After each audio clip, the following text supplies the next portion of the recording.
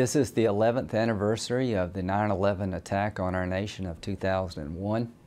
Uh, today we remember the victims and their families. We will never forget them.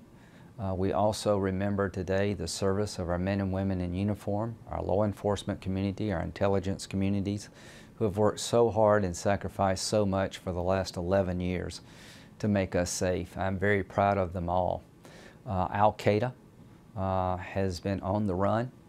The people who planned the attack of 9-11 have either been captured or killed.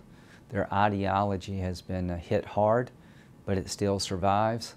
And my hope is that one day the people in the region where these attacks came from will have the will and the capacity to reject the Al Qaeda form of extremism. And I see that when I go to Iraq and Afghanistan. In spite of all the problems in the region, there are many, many people, a vast majority, who want to live their life in peace and tolerance, and they just need the ability to fight back against Al Qaeda extremists, the Taliban, and other groups. And that's the way we win this war. At the end of the day, it's more than just killing terrorists that will keep us safe. It is providing capacity to those who have the will to fight extremism in their own backyard. This radical ideology that led to the attacks on our nation 11 years ago will eventually be defeated by the people within the region where it came from.